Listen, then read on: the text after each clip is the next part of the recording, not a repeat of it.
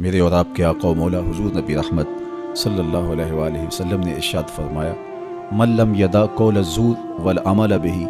फ़लैसल्ला हाजत फ़ी अन यदा तामा व शराबा जिसने झूठ और उस पर अमल करना ना छोड़ा, झूठे काम तर्क नहीं किए, उसका भूखा और प्यासा रहना अल्लाह को मंजूर नहीं। अल्लाह को कोई ज़रूरत नहीं कि वो भूख और प्यास काटे। रोज़े में तो उन उमूर से भी रोक दिया गया, जो उमूर आम ज़िंदगी में जायज़